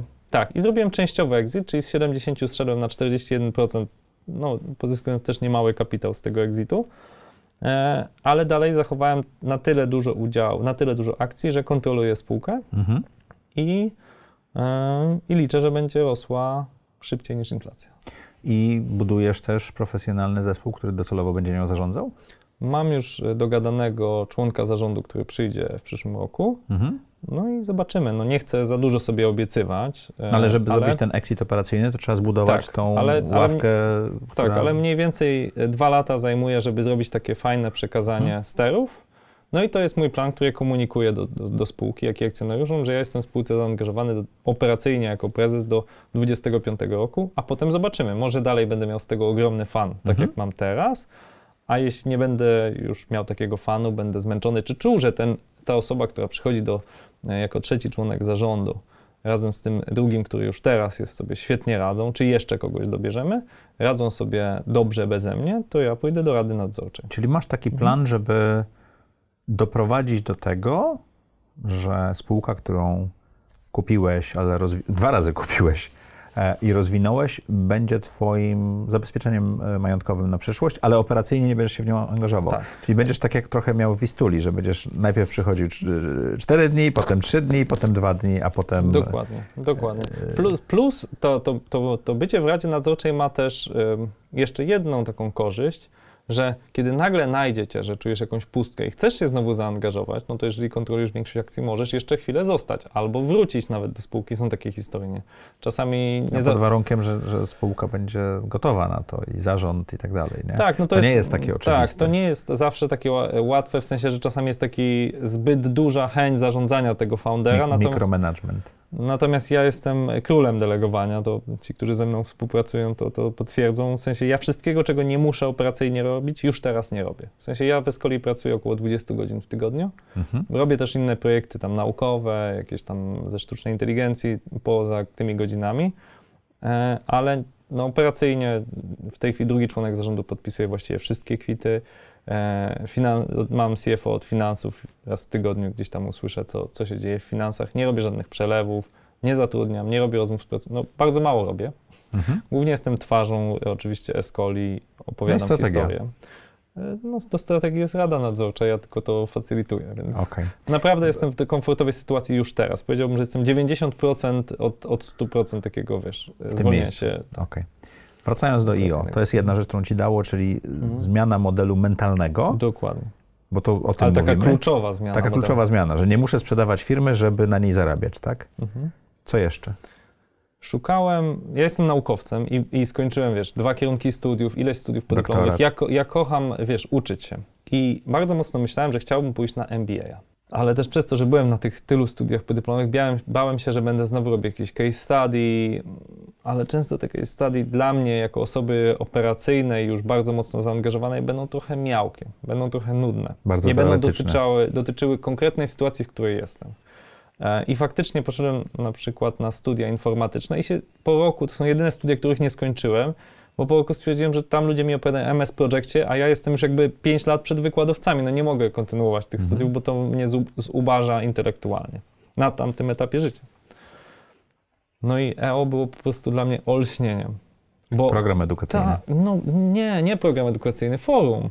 No bo Forum. tam ludzie rozwiązują Forum, problem. czyli to, co w, nazywamy mastermindem za projekty Tak. życie, to jest taka dziesięcioosobowa grupa ludzi, nie? W moim przypadku jest to w tej chwili sześcioosobowa, o- czyli forum, takie minimum. Tak, e, tak. Ta mała minimum grupa. to jest 6, Sześć maksimum to jest tam 10, Tak. 11 osób, nie? Tak, wolałbym, żeby była większa nasza. Jest troszeczkę za mała w tej chwili, sześć osób. Lepiej było osiem, to moim zdaniem jest idealny taki sweet spot. Dokładnie. Ja wrzucam problem i dostaję rozwiązanie natychmiast. Rozwiązanie? Tak, ja się nie boję tego Radę? powiedzieć. To rozwiązanie nie zawsze jest wprost wyrażone, No, ale ono się powinno. buduje. Okej. To jest... Ja łamiecie zasady. To jest, nie, nie, bo możesz robić discussion. Nie musisz zawsze robić e, deep Okej. dive, tak? W sensie nie znam, jak to jest w YPO, ale Mhm. u nas są różne metody, tak? Są trzy takie podstawowe, nie chcę ich teraz szczegółowo tłumaczyć. Powiedz. Okej, czyli najpopularniejszy jest ten deep dive, czyli staramy się rozwiązać problem i faktycznie nie można dawać rad. I Mhm. polega to, no to jest właściwie coaching, to by było naj, najlepsze Mhm. słowo. Takie przypadku. się pokazuje, nie? Dokładnie. Plus dzielenie się swoim doświadczeniem Mhm. i nie można dawać rad. Jest dyskusja, Mhm. gdzie możesz dawać radę i ja ostatnio na przykład, mając pewien, pewną taką problematyczną sytuację, powiedziałem, dawajcie mi rady, dawajcie opinie, ja chcę waszych rad. Dlatego, że jestem w dwóch, e, jestem w polskiej IO i w europejskim. I w europejskim zrobiłem już deep dive na ten sam temat i Czyli już ja dostajesz chcę. tę informację. Tak, dostałem ten, to, to, to, te wspólne Czyli doświadczenia. w dwóch forach jesteś. Mm, Tak, Mhm. Chociaż w tym europejskim jest troszeczkę inaczej, bo tam te fora nie zawsze spotykamy się w tym samym gronie. One są Okej. tak trochę losowane. Ad hocowo. Tak, ad hocowo. I chciałem, żeby dawano mi radę. I jest jeszcze trzeci typ, bardzo rzadko używany, ale Mhm. bardzo ciekawy, tak zwane hot seats, gorące krzesło, że siadasz tyłem i Mhm. ludzie dyskutują na twój temat, Mhm. a ty nie możesz brać w tym udziału. I najważniejsze w tym wszystkim jest coś, co pewnie tobie, Maćku, się bardzo przydaje, czyli trzeba siedzieć cicho. Myślę, że tego gościa w ogóle wytniemy. tak, e, to jest prawda, że prezentujący musi się zamknąć, jak skończył prezentację i brać to, co słyszy w, w różnych sposobach, nie? Mhm. No wiesz, wchodzą ci prezesi, prezeski do tego forum, Same, same typy alfa, Więc ego e, gdzieś pod sufitem się unosi. a nie tak? można mieć ego na tym spotkaniu. E, No więc trzeba, jedynym sposobem, żeby to zadziałało, jest e, zostawić to ego gdzieś tam na zewnątrz. Mhm. Co więcej, mnie namówił do udziału w EO w Polsce Dawid Adach, z którym Mhm. byliśmy w takiej podobnej organizacji, choć trochę mniejszej, Warsaw Society of Fellows. Idiotyczna nazwa. Ale w skrócie chodzi o klub, klub milionerów, tylko warszawskich milionerów, czyli tylko milion złotych trzeba mieć przychodu. No, czyli Mhm. taki klubik e, przedsiębiorców. Bo w Em, IO trzeba mieć milion, milion dolarów przychodu i tam kilkanaście osób zatrudnionych co najmniej chyba. Nie wiem, jak jest za to. No Okej, ale Tam jakieś trzy, trzy kryteria Mhm. są, nie pamiętam. E, No i trzeba być founderem. I to jest główna Tak. różnica między YPO, że trzeba być faktycznie założycielem lub tam większością. Trzeba być przedsiębiorcą. Nie można być być, przedsiębiorcą. hired gunem, tak jak ja byłem w Delu, dołączając do YPO. No. Do udziału w EO namawia mnie Dawid Adach. Mhm. Siedzimy w jego apartamencie na Pradze. I on mówi, zobaczysz, tam jest taka genialna metodyka, wiesz, 5% najważniejszych rzeczy, jakie się dzieją. Opowiada mi o tej metodyce. Wie, człowieku, ja jestem absolwentem psychologii, andragogiki, to jest pedagogika Mhm. zajmująca się nauczaniem dorosłych, zarządzania Nic mnie doktorem. nie zaskoczy. pokaż mi tę metodę. Przychodzę na pierwsze warsztaty IO, jak się zapisałem, mówię, to są najlepsze metody, jakie w życiu widziałem. Ale wiesz co, bo one nie są teoretyczne. One są wypracowane przez praktyków, Mhm. przez biznesmenów, którzy metodą prób i błędów do tego doszli. Ja do tego też dochodzę i opowiadam, że Mhm. YPO z 55 roku to jest y, prawie 70 lat doświadczenia y, i, i forum zostało stworzone chyba w latach 70. czy 80., Mhm. nie pamiętam. I to samo jest w IO. Y, I to robi tą różnicę, że to są praktycy, nie? Co więcej, tam nie masz udziału terapeuty, a wchodzisz Nie, bardzo nie, nie. głęboko, więc musisz tak wymyślić tą metodykę, żeby faktycznie Żeby zostawić krzywdy nie zrobić. żeby nie zrobić krzywdy, bo naprawdę ludzie opowiadają o tematach czasem zakrawających o terapię, więc trzeba bardzo dobrze nauczyć ich moderować Mhm. tym, żeby oni nie wchodzili w, w rolę terapeuty. Mhm. A jedyny sposób, żeby to zrobić, to właśnie są te zakazy dawania rad, e, tylko udzielenie się wiedzą, bardzo duży Oceniania. Zakaz oceniania, bardzo duży nacisk na pilnowanie czasu i Mhm. tak dalej. I te zasady moim zdaniem w dużej mierze powstały dlatego, że właśnie nie ma tam terapeuty, który profesjonalnie umie wyczuć m, takie momenty, jak zarządzić tą sytuacją, więc musisz to bardzo zrobić tak od linijki, tak bardzo strict i właśnie zakazać ludziom łamać te zasady. Co dało ci forum? Na pewno taką większą otwartość. Wydaje mi się, że ja ogólnie jestem dość otwartą osobą. Na problemy innych, na to, co mówią No, i takie- zrozumienie. Ja jestem akurat w angielskim forum, więc przychodzą mi do głowy te angielskie, bo jest trochę ekspatów. Ja mam Mhm. e, osoby, które robią biznes w Polsce, ale niekoniecznie są e, polskojęzyczne. Mhm. E, I takim słowem jest vulnerability, tak? Otwartość na Czyli ciosy. ja to nazywam e, pokazywaniem miękkiego podbrzusza. O, pięknie. Tak, to jest otwartość na, e, na pokazywanie swoich słabości. Mhm. Ja, ja, ja zresztą mam takie jedno pytanie w mastermindzie, e, gdzie e, w tym, tej liście do przygotowania się, co, e, co jest, czego się najbardziej wstydzisz, czy, czy to miękkie podbrzusze, bo to, to, jest, to wstyd jest niewłaściwym słowem, ale tak to pytanie jest sformułowane, prezentując do tej grupy, Mhm. a to, z tą grupą masz dobre relacje, pełne zaufanie, ale przynosisz temat, który jest wstydliwy, jest trudny. I jeżeli to powiesz, to nagle mamy bardzo głęboką dyskusję. Dokładnie. Czasem to EO ma też taki charakter, szczególnie te europejskie, gdzie mamy te Mhm. ad hocowe fora, że mamy taki coś, co ja nazywam efektem współpasażera w PKP. Siedzisz w PKP w Okej. zamkniętym przedziale i siedzi naprzeciwko ciebie no, mężczyzna, kobieta w twoim wieku lub innym, nie ma znaczenia tak naprawdę. I masz prawie pewność, że to będzie jedyny raz, jak się zobaczycie. Więc opowiadasz historię swojego życia, opowiadasz, co ci tam nie poszło w On ci, związkach, ta druga w osoba też ci biznesie. opowiada. Ta druga osoba ci biznes... I rozchodzicie się, nie bierzecie numeru, nie wymieniacie się na Facebooku i nigdy więcej się nie widzicie. I te, ten efekt, Co to daje? no to, że jesteś otwarty, wiesz, ta osoba nigdy, wyspowiada cię i nigdy więcej cię nie, nie oceni cię przez to, tak? Mhm. E, Nigdy więcej temu nie powie nikomu, bo najwyżej zna twoje imię, tak? Więc to, jest, to daje niezwykłą A możliwość miałeś już taką sytuację, bo ja już parę razy miałem, że spotykasz e, członka IO czy YPO na lotnisku, czy w hotelu gdzieś za granicą i ta rozmowa od razu robi, nigdy nie widziałeś tego człowieka, od razu robi się inna. Mam takie coś, ale dzięki EO często mam tak, że właśnie ten, korzystam nadal mimo tych cyfrowych światów, że ludzie siedzą w telefonach i, czy słucham audycji. Ja nadal często rozmawiam z ludźmi w PKP o życiu. W przedziale. Okej. Dzisiaj też rozmawiałeś, jadąc tu? Dzisiaj spałem. Okej. Słuchajcie, teraz będzie bloczek reklamowy, bo muszę. Jeżeli to, co mówimy, jest dla Was interesujące, to zapraszam na zaprojektuj swój łamane przez Mastermind. Tam opisuję bardzo podobną metodologię, jak my to robimy. E, Na przełomie roku, styczeń, grudzień 22-23 będziemy montowali trzecią grupę. Jeżeli jesteś przedsiębiorcą i myślisz o czymś takim, to zapraszam Cię bardzo serdecznie. Dobra, był bloczek reklamowy. Ostatnia rzecz, którą chcę zapytać, zanim przejdziemy do trudnych pytań, Krzysztofie. Co ciebie w tej chwili napędza? Bo to mówiłeś, co cię napędzało, jak miałeś 25-26 lat, jak robiłeś tą zmianę. E, dlaczego wszedłeś w Eskolę? jak ją rozwijasz, ale jakbyś miał teraz stanąć i spojrzeć w lustro, to gdzie jest ten wiatraczek? Opowiem o części biznesowej, bo, bo, Dobrze. bo oczywiście napędzam je rzeczy w rodzinie, ale to jest trudno tak opisać. Zresztą mnie ciekawi, co jest za, za horyzontem, czy też za rogiem. Pamiętam, jak e, byłem na jakiejś... Za my- zakrętem. Tak. Myśmy bardzo szybko się rozwinęli przez te ostatnie tam Mhm. 4 lata. 11-krotnie urośliśmy nam od Mhm. 10-osobowej do 110-osobowej. No i ja pamiętam, jak byłem tą 20-osobową firmą i słuchałem, że ktoś ma 50 osób w Software House. Mówiłem, niesamowite, jak on to zrobił. Albo ona. Mhm. Potem miałem 50-osobową firmę i słyszałem, że ktoś ma 100-osobową firmę. Myślę, no to już jest kosmos. Kiedy ja do Mhm. tego dojdę? I półtora roku później miałem 100-osobową firmę i nawet nie zauważyłem Kiedy? kiedy. Więc mnie ciekawi, nie tylko w zakresie ilości To już osób. jest teraz 500? E, Nie, nie, ma, nie chodzi o liczbę, tylko chodzi o to, że na przykład teraz czuję, że już ta zmiana musi się stać strukturalna, tak? Już jesteśmy, dochodzimy do takiej liczby, Do, że do, już... do, do liczby Dambara dochodzicie, tam Dokładnie. 120, 150 osób, to jest maks osób, które znasz po imieniu, tak? W życiu. No ja nigdy, tak jak mówiłem, nie jestem operacyjnie zaangażowany, żeby znać tam Mhm. za wiele osób, ale, ale czuję już, że nie, nie dajemy rady. To znaczy mój Czy dyrektor albo zbudujesz zarządzający... strukturę, albo to nie zadziała. Tak, mój dyrektor zarządzający robi dwa razy do roku rozmowy one-on-one o podwyżce. Z każdym. Teraz to będzie 100, 100 rozmów. No to, To jest już to granica są trzy wytrzymałości człowieka. pracy Tylko to. ciężkiej. Tylko to robiąc, Tylko nic to. innego nie robiąc, nie? No. I jakby ja mu powiedziałem, że on robisz to ostatni raz z wszystkimi. Okej.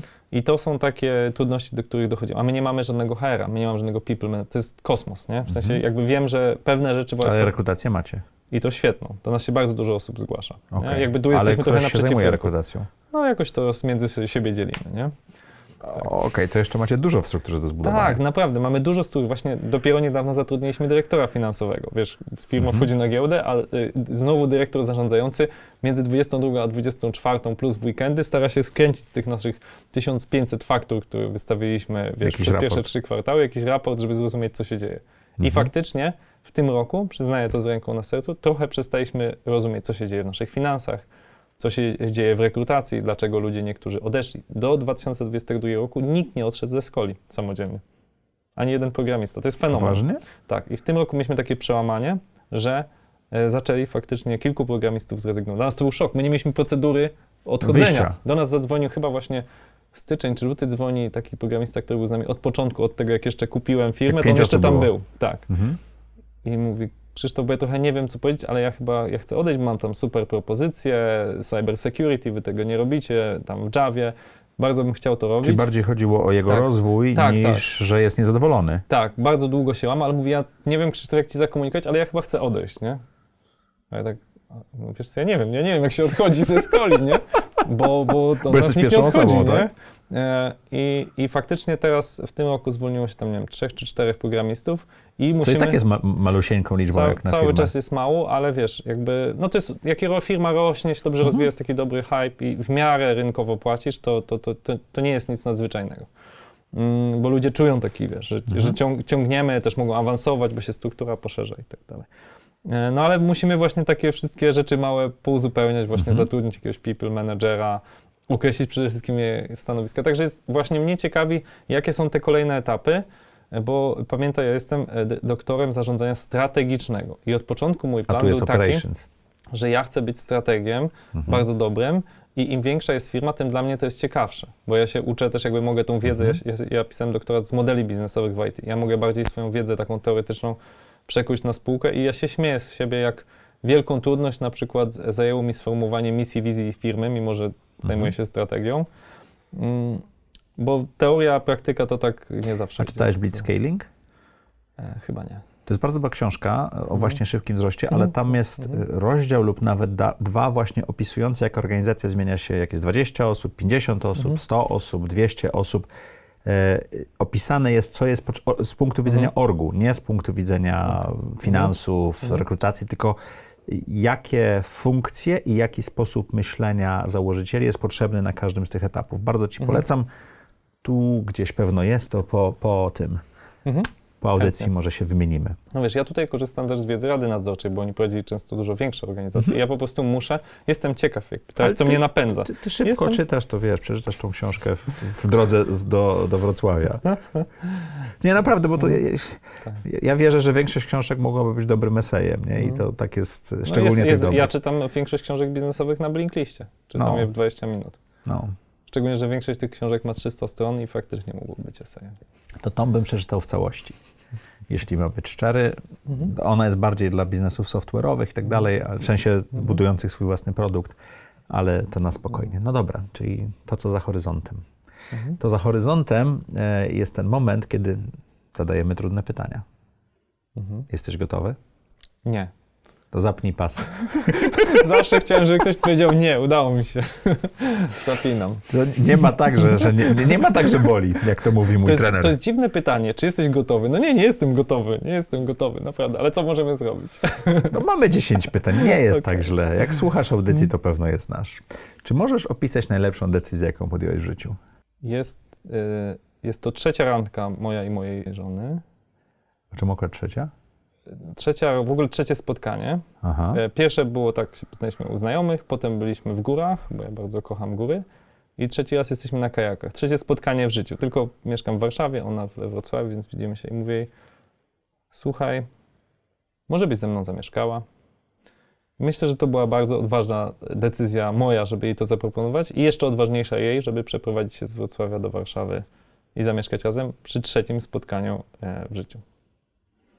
Okej. I ta decyzja ma impact i prywatny, i biznesowy. No i przeniosłeś się do. Wrocławia. No potem, ale Mhm. ona wtedy przeniosła się do Warszawy. Dobrze. A co daje ci najwięcej energii czy satysfakcji w życiu? Czerpię energię z natury. Wiesz, ja kocham bardzo góry, kocham rower, a jak nie mam na to czasu, to idę do parku z dzieciakami. Moje dzieciaki praktycznie wychodzą ze mną codziennie na świeże spacer. powietrze. Tak, na taki wielogodzinny spacer sobie chodzimy. Ale wieczorem rodzicie coś takiego po robocie, po szkole? Po, zaraz po przedszkolu, no. Mhm. Po przedszkolu. Ich odbieram, jedziemy sobie do parku południowego albo na górkę skarbowców. Jak leje też? E, Jest jeszcze aquapark, ale ja, ja jeżdżę... Coś robicie razem? Ja codziennie ich zawożę e, rowerem i przywożę ich rowerem, więc wiesz, jakby my też cały czas w ruchu spędzamy. Rowerem z przyczepką? Mhm. Okej, Dwuosobowo. okej. Em, A jak wygląda twój typowy dzień? Już No właśnie zaczyna się- zawoże, odwoże? Tak, tak. Zaczyna się dość spokojnie, w sensie najpierw zabawa z dzieciakami. Zazwyczaj jak jestem w domu, to większość dni się y, rano nimi zajmuję. Chyba, że jestem cały tydzień, to się trochę z żoną zmieniamy, bo ona ma zasadę, że pierwsze dwa lata ona wstawała większość y, czasu, czy pierwszy rok, pierwszy rok chyba, no ale między nimi jest mały odstęp czasu, więc Mhm. ten. No więc teraz ja odrabiam, co Okej. jest myślę bardzo sprawiedliwe. E, wiozę ich do przedszkola tam na dziewiątą, dziewiąta z minutami. Powoli zbieram się do pracy, Mhm. ale nie, nie jestem taki, że od A o której ta, do, docierasz do biura? nie chodzę do biura. I, znaczy pracujesz? docieram, moje docieranie do biura polega na tym, że wchodzę na, po schodach na strych, gdzie mam biuro. Mhm. I moja żona ma swoją pracownię, więc Mhm. pracujemy jakby sobie razem, choć robimy zupełnie inne rzeczy. Moja żona jest arty- absolwentką informatyki z całą karierą korporacyjną, która od dwóch lat zajmuje się zawodowo malarstwem, zresztą Mhm. ze sporymi sukcesami. No i sobie pracujemy, gdzie moja praca jest bardzo spontaniczna. I czasami praca polega na tym, że słucham Twojej audycji, zaprojektuj swoje życie leżąc sobie na kanapie przez dwie godziny i sobie coś notuję. To jest praca? Albo tak, się to jest uczysz, A się nie jest? uczysz. A nie jest? Każdy definiuje pracę w Dla pewien sposób. jest. W sensie jakby oczywiście każdy projektuje swoją pracę, ma taką, jaką chce. Najgorszą Tak? częścią pracy jest siedzenie przed ekranem i klepanie w klawiaturę. I No, unikam słuchaj, tego. odpisywanie na durne maile to jest nieefektywna praca, tak? W sensie na takie maile niepotrzebne. A, a słuchanie i wymyślanie strategii firmy w oparciu o to, co mądrzejsi ode mnie mówią, jest ciężką pracą. Może tak nie wygląda, jak człowiek sobie leży na kanapie ze słuchawkami w uszach, ale jest naprawdę ciężką pracą. I to jest ważne, żeby sobie to zdefiniować. Więc tak jak mówię, bardzo różna praca. Czasem jadę sobie na rower w czasie dnia, e, czy poskakać, bo, bo, bo trochę skaczę na rowerze, czy, czy pobiegać w czasie Mhm. dnia. Mm. I mówię, dużo pracuję koncepcyjnie. Mam cztery półgodzinne spotkania w tygodniu tylko, takie statusowe. E, trochę z klientami mam z dzwonek. Mm, Także tak jak mówię, no taka rutynowa praca w Escoli, czyli te wszystkie maile, statusy, jakaś analiza jakichś najważniejszych umów, czy, e, czy, czy, czy, czy Exceli, to jest maksymalnie może godzina w tygodniu, może dwie. Mm, No a pozostała to jest właśnie praca koncepcyjna lub spotkania z klientami, czy rozwiązywanie jakichś najtrudniejszych tam konfliktów e, w firmie. Ale naprawdę mój zespół menedżerski uważam robi świetną robotę, żeby nic do mnie e, nieistotnego nie docierało. Mm, No i o 16 przywożę dzieciaki albo idziemy właśnie na spacer, gdzieś po, czy na aquapark, coś porobić takiego, bo ja bardzo lubię w ruchu być, uwielbiam. Potem mm, gdzieś dwa razy w tygodniu faktycznie pracuję jeszcze wieczorami nad jakimś projektem, czy jakimś tam tematyką taką bardziej naukową. To Dwa wieczorami, razy w tygodniu, bo? to nie zawsze, czasem jest A, jeden tak dzień, wychodzi, czasem tak zero, czasem dwa dni w tygodniu, czasem jeden. E, Po prostu masz chę- wenę, po tak, prostu masz mam wenę. wenę. Bardzo opieram się na takiej właśnie wenie. Bardzo jest moja spontaniczna praca. Czasem pracuję cięgiem 12 godzin w pełnym skupieniu, a czasem godzinę może. Ale ja też mam takie momenty, że jak, a propos tego cięgu, że, że potrafię Mhm. siąść na przykład do Excela Mhm. I patrzę, 6 godzin minęło, a ja Mhm. stworzyłem jakiś model biznesowy, który mnie aż zaskakuje, że tak Mhm. wyszło, nie? A Mhm. czasami nie jestem w stanie siąść do ekranu. Ty rozumiem, też tak to kontrolujesz trochę, tak Znaczy, jak możesz. Ja poddaję się temu. Lubię się temu ponieść, temu flow. Ale nie masz takich momentów w pracy, że musisz pewne rzeczy zrobić? Staram się właśnie tego unikać. No, ale I to uważam za umowy przeczytać, uchwały przeczytać. Umowy czyta prawnik i drugi członek zarządu, kamana. Okej. Pracujesz w weekendy? Tak, jak mam ochotę. Czyli nie, nie, nie, nie dzielisz sobie tygodnia na dni, godziny i Daje tak się dalej, na- tylko na, na W tym ja właściwie prawie, że ja trzy miesiące zimy praktycznie spędzam e, na Wyspach Kanaryjskich, mhm. więc e, wtedy opracowałem taki koncept już teraz dość popularny, wtedy dla mnie nowy, workation, tak? czyli że Mhm. pracuję tak jakby na, na zasadzie miksu wakacji i pracy, czy pracjacje po polsku. I powiem Ci, że pracjacje, nie znałem tego Pracjacje. słowa. i coraz częściej korzyst... jakby staram się myśleć, że mam pracjację cały rok. A To dzieciaki znaczy... chodzą wtedy lokalnie do przedszkola? Nie, Okej. Wtedy żona się zajmuje głównie, ale też mamy swoje sposoby, wiesz, teściowa, ciocia z Niemiec, moi rodzice i tak dalej. Czyli wynajmujecie jakiś dom i Dokładnie. ten. Mhm. Okej. No i, i A na której wyspie? no co roku inna. Okej. Gdzie byłeś Mhm. ostatnio? E, Gran Canaria A w i tym roku gdzie będziecie? Teneryfa. Okej. Mhm. Północ czy południe? Na południe. No tam ja kitesurfingiem się fascynuję, A, no tam jest południe. jedno miejsce takie. Mhm. Mhm.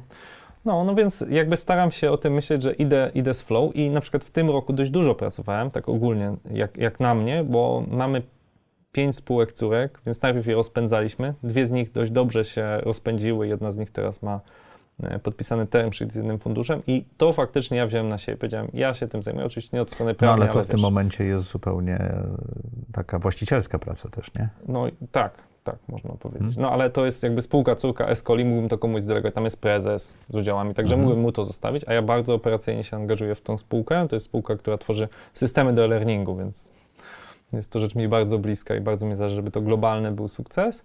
E, No i faktycznie miałem dużo wieczorów, że siedziałem i kombinowałem tam nad jakimiś, wiesz, zapisami, nad jakimiś, wiesz, Mhm. pozyskaniem klientów, jak to zrobić. Mm, Więc bardzo idę z flow, gdzie czasem myślę, nie no, za dużo tego jest, e, no ale czasem jest tak, że chciałbym coś nowego z kolei wprowadzić, coś, co mnie zafascynuje. I w Okej. ogóle podzielę się z takim konceptem, który usłyszałem mm, właśnie na IO, na jednym Mhm. z takich eventów learningowych od Garego Wajnerczuka. On ogólnie takim jest trochę hustlerem, nie podoba mi się, ale tam powiedział coś bardzo Ale mądrego. Ka każdy ma jakąś mądrą myśl. Tak, i on powiedział, że side projekty, te takie małe projekty, które czasem nas odwracają, defokusują, są bardzo potrzebne, żeby dać nam energię do tej naszej głównej działalności. Czyli mnie ten e, projekt e-learningowy bardzo fascynuje i sprawia, że ja przychodzę ogólnie do pracy z nową energią, z nową fascynacją. No bo dobrze, Do tego dobrze działający projektu. biznes jest nudny, a side projekty wprowadzają troszeczkę e, Ekscytacja. nie? ekscytacji. Dokładnie. No. Także myślę, że warto ten, ten side product, jeżeli Cię naprawdę fascynuje. Ja jestem, no pewnie widać w tej rozmowie, ja się fascynuję rzeczami. Jesteś pasjonatem, zawsze. pasjonatem robienia ciekawych rzeczy, Dokładnie. które Więc przy okazji są biznesami. Czasem, ale jak mówiłem i to powtórzę jeszcze raz, ja nie czuję się przedsiębiorcą. Ja po prostu realizuję swoją pasję. Akurat w tym momencie, kiedyś najlepszym sposobem realizacji była praca w ministerstwie czy w BCG, teraz jest akurat biznes, bo to faktycznie daje dużą wolność. Nie? Czy jest coś, co mógłbyś ty przestać robić, Mhm. na co ty masz stuprocentowy wpływ? Mhm. Wspomniałem, że jestem 90% do absolutu, jeśli chodzi o te operacje. Wiesz co, ja myślałem nad tym pytaniem i jest bardzo mało takich rzeczy, które mógłbym przestać robić, bo, Bo już je zrobiłeś. bo już większość z nich e, zrobiłem, naprawdę mam I te 10% ma pewno wielką wartość, nie? ma wartość, no, jest niezbędna, uważam, na tym etapie rozwoju spółki. Sprawia mi jakąś przyjemność, plus jest potrzebne, żebym doceniał. Wiesz, jakbyś dostał od swoich rodziców w wieku 20 lat Ferrari, to każde następne auto by cię mało cieszyło, nie? A jak dostaniesz pierwszej Opel Astra, a potem nie wiem, Opel Vectra, a potem BMW, Potem no to dorobisz się Ferrari. dlatego myślę, że to, że robię te rzeczy, które są operacyjne, ale robię ich relatywnie mało, to też jest takie, taka ważna e, rzecz. Jaką masz supermoc? Myślę, że moją super mocą jest właśnie to, że idę z flow i jak pracuję, to faktycznie mam ten flow w definicji tego psychologa węgierskiego Csikszent Mihailiego, czyli jestem bardzo skupiony i pracuję bardzo efektywnie. Przez to, że nie robię takich właśnie rutynowych rzeczy bez sensu.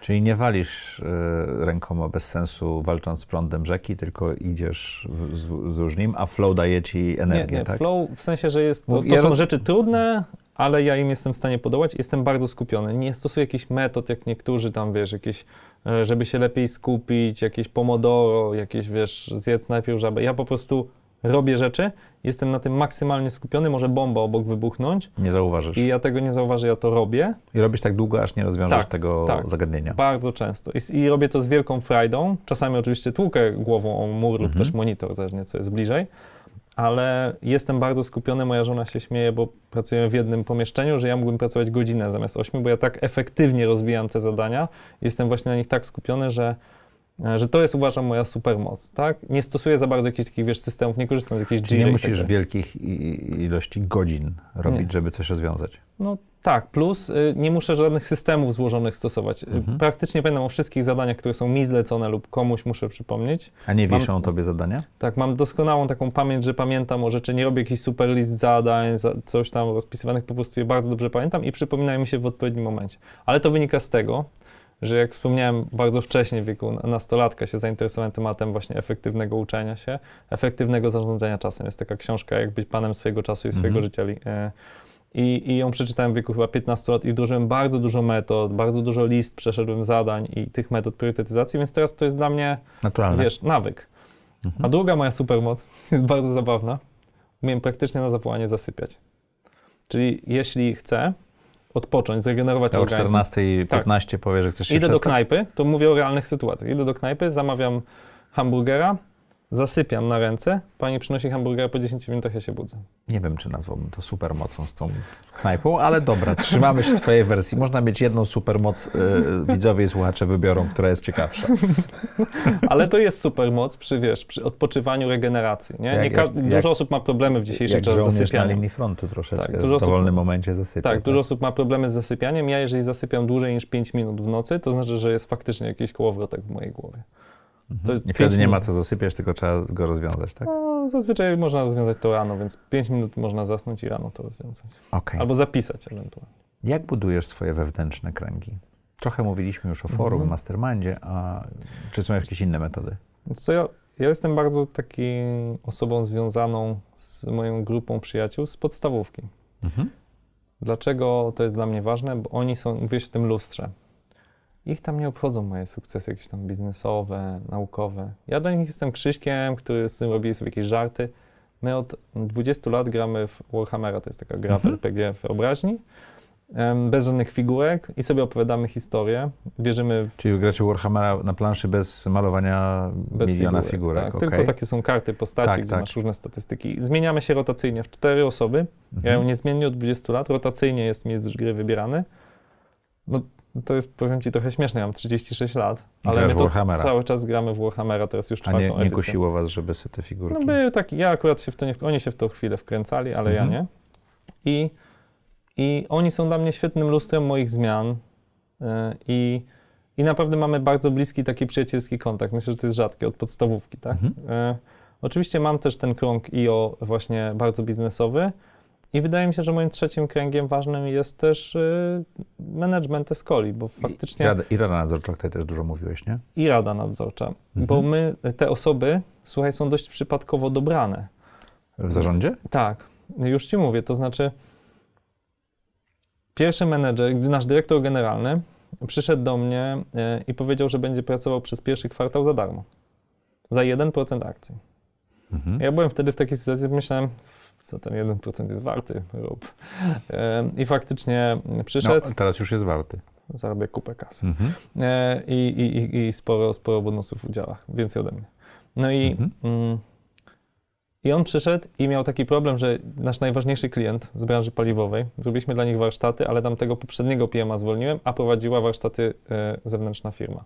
No i on musiał to jakby postawić na nogi i ustalić strategię dla tego klienta z branży paliwowej od, od zera. I to zrobił fenomenalnie. Mhm.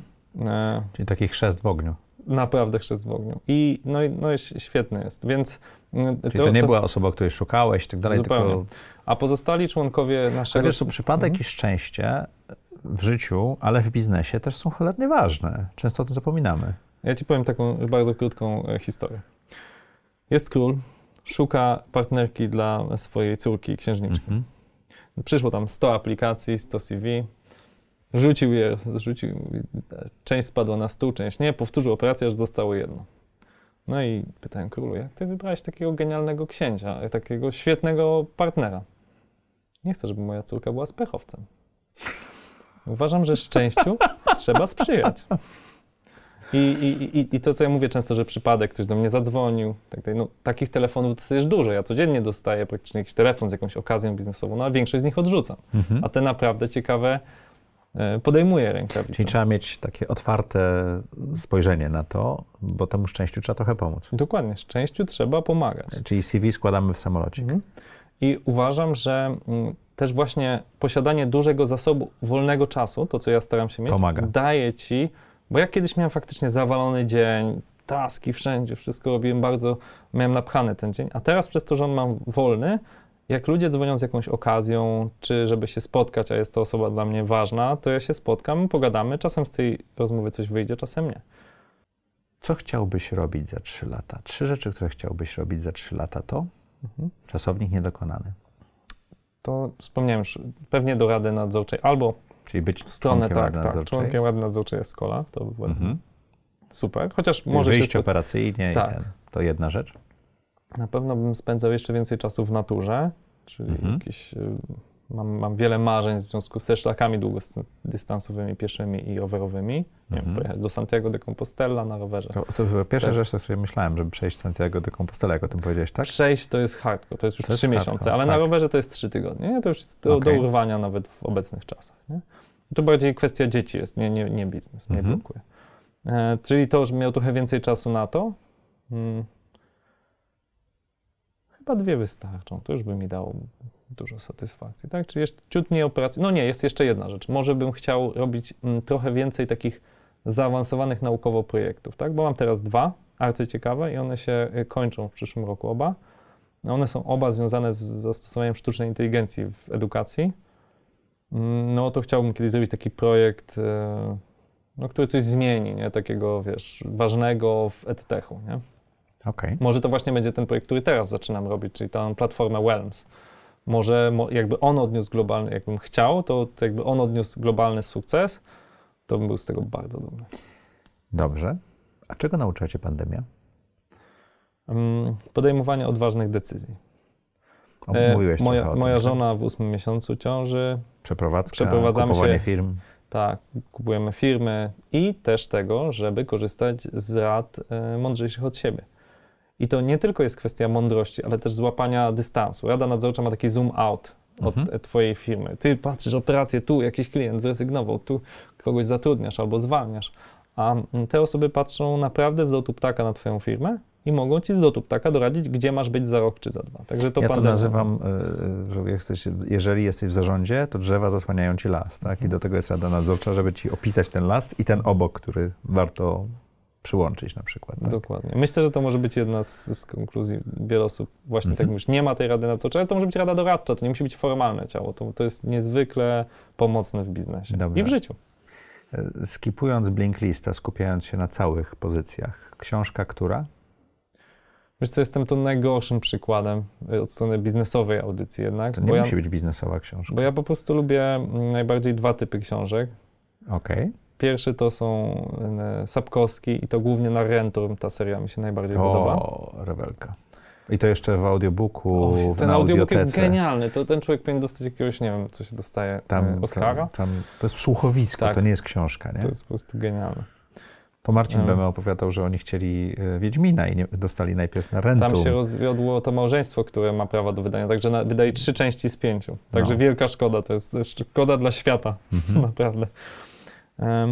Także tak, to fantastyka, ale bardzo określoną. Nie lubię na przykład science fiction. Próbowałem Gwiezdne Wojny, jakieś te Dune, ale fantazy takie właśnie w stylu Władcy To Pierścieni. polecę jest to. ci jedno science fiction. Czytasz Bandena, Bandena Sandersona? Słyszałem, że to polecałeś, nie czytałem jeszcze. A to w, całe jego e, fantasy jest rewelacyjne, ale ma też science fiction, który jest podobnym. E, Mhm. To się Starlight nazywa, Detritus i tak dalej.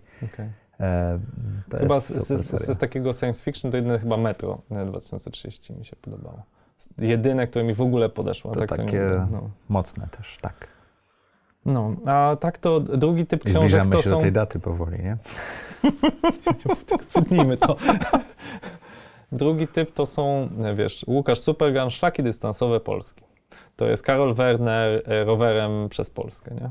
Ja Okej. czytam takie rzeczy i sobie podróżuję, może to śmiesznie brzmi, ja podróżuję w wyobraźni. Znaczy podróżuję też fizycznie sporo na rowerze czy pieszo, Ale możesz sobie ten szlak wyobrazić, tak? tak? wyobrażam sobie podróży z nimi. Dużo też oglądam na YouTubie tych. Jest taka Agnieszka Zebra-Dziadek, która przeszła wszystkie najdłuższe szlaki długodystansowe z Ameryki. Każdy z nich po 4 miesiące chodzenia Mhm. i ona wszystkie przeszła. Z plecakiem. Tak. Mhm. Więc to jest moja lektura. A są em, takie lektury, które z kolei dużo osób poleca, nawet w twojej audycji, które mi po prostu doprowadzają do szewskiej pasji. To em, Hard Thing About Hard Things. Przeczytałem to i ta książka mnie zdenerwowała. Facet pisze o sukcesach biznesowych, a pisze, że nie miał czasu dla swojej żony. To jest kwestia wyboru.